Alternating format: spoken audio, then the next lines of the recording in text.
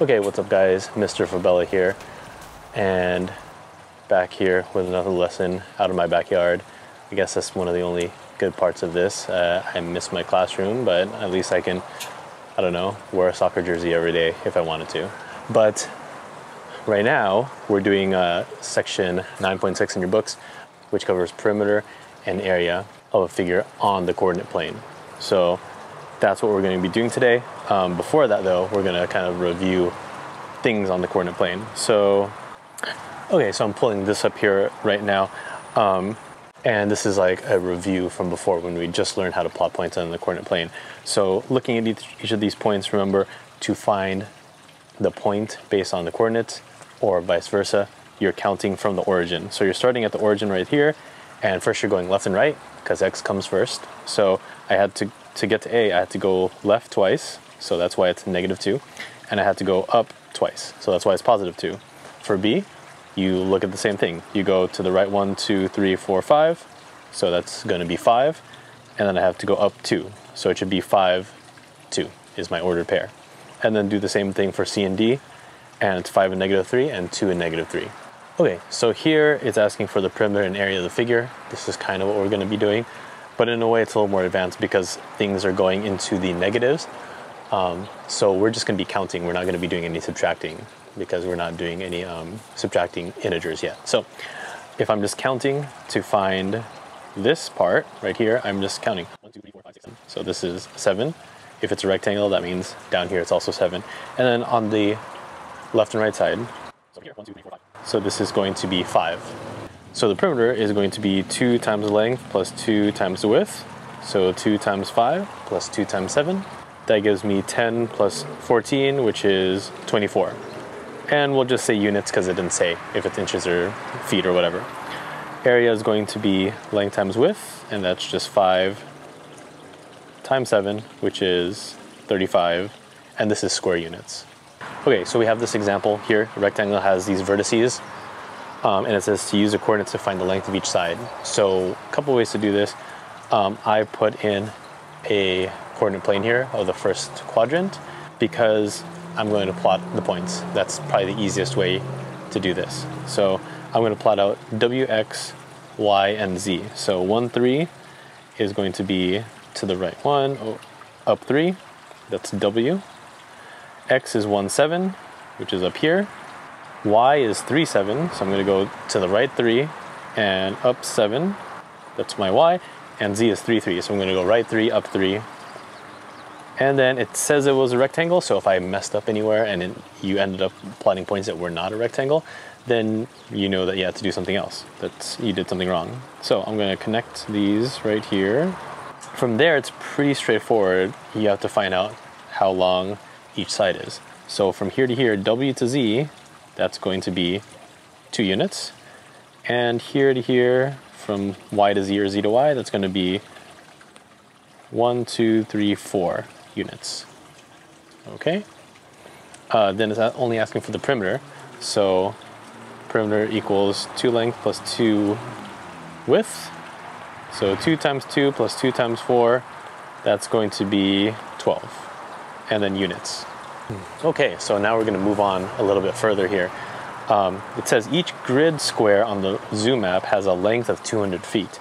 Find the total distance in feet around the zoo. So this is kind of putting in our uh, scale maps, scale drawings, bringing that into what we're doing here. So find the distance in feet around the zoo. So we're going to find the perimeter, and we're just going to do this piece by piece. Um, so first we're going to go from here to here how long is that going to be? So if you're, so yes, you can just count the boxes, but there's a, an even better way. So this is going along the x-axis, right? So the coordinate of here, oops, the coordinate right here is zero. The x-coordinate for the gorillas is seven. So if you want to know how long that is, you can just subtract the x-coordinates. Seven minus zero is just seven. Uh, and you can count one, two, three, four, five, six, seven. It's the same thing. Okay, same thing over here. From here to here, that's going to be 3. I could have also counted the y's there. See, because from here to here, the y coordinate of gorillas is 10, of tigers is 7, so 10 minus 7 is just 3. From here to here, that's going to be from 7 to 11. So 11 minus 7 is going to be 4. From here to here, that's we're looking at the y-axis. So this is from 7 down to 3. So that's another 4. Then from here to here, I'm looking at the x-axis because I'm going horizontally.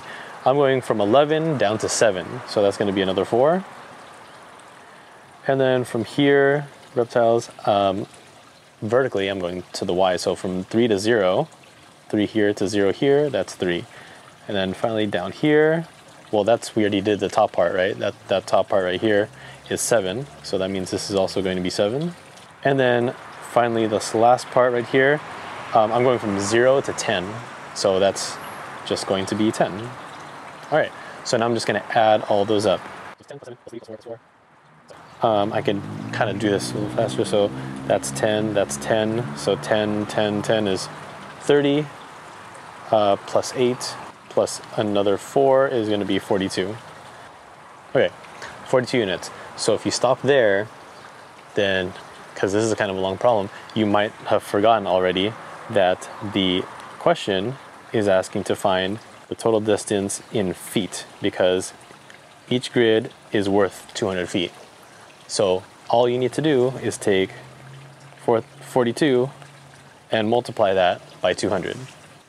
So that'll be 8,400 and that's going to be in feet, not feet squared. This is perimeter. So we're just talking about how long it is. Okay, so right here uh, it says figure is drawn on paper shown.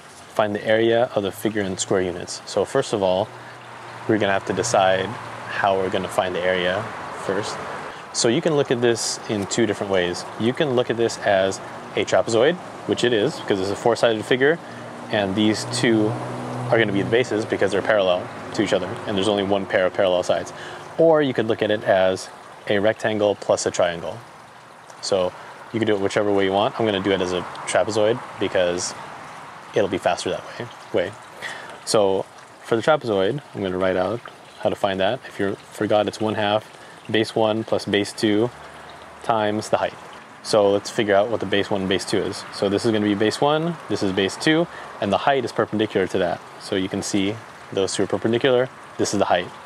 And then you're just going to count. So 1, 2, 3, 4, 5, 6 is the base, uh, B1. 1, 2, 3, 4, 5, 6, 7, 8 is B2. And the height is going to be 4. And then now you just fill everything in. So area is going to be 1 half 6 plus 8 times 4. So 1 half times 14 times 4, 7 times 4 is going to be 28.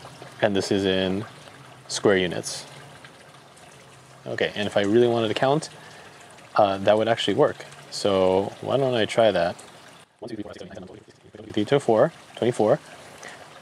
Uh, 25, 26, and you're like, oh, what's what's going on? Well, actually, this right here, this is 27, and this is 28.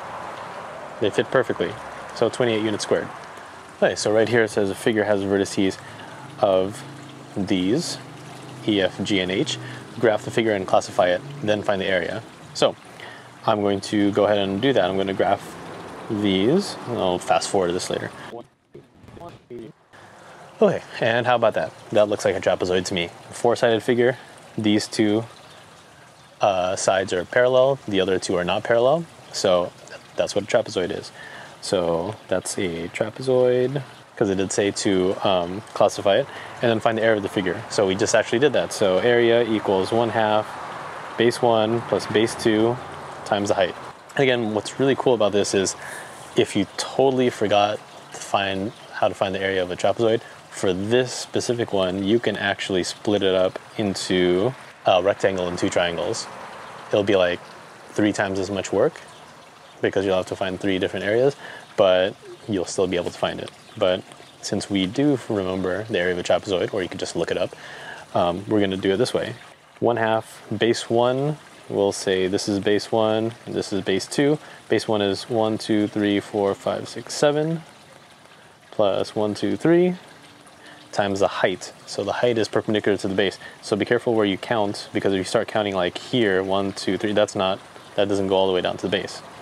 So the height should be, let's go from the middle, one, two, three, four, five, six, seven. So the height should be seven. And then you just go through this as you normally would, uh, following the order of operations. So I have to add what's in the parentheses first, then I can multiply from left to right as I see fit. So this will be 35 units squared. So again, if I really wanted to, I could count the little squares and there would be 35 square units. So that was a quick lesson on finding area and perimeter and classifying shapes on the coordinate plane. So hopefully that was helpful and I'll see you guys next time.